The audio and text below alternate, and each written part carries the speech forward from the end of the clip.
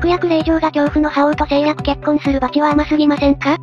星に、パティシエを目指していたが大多数だったので就職してなんやかんやあって営業をしていた前世では家族仲が悪かったという設定の OL が、異世界転生して今度は家族に愛されて育った。8歳の時に事故って前世の記憶を思い出して自分が乙女芸の悪役令嬢だと認識する。そこからご都合なるシナリオの強制力によって何をしてもメインヒロインの被害妄想の餌食になるという設定で、なんやかんやあって断罪エンドが発動。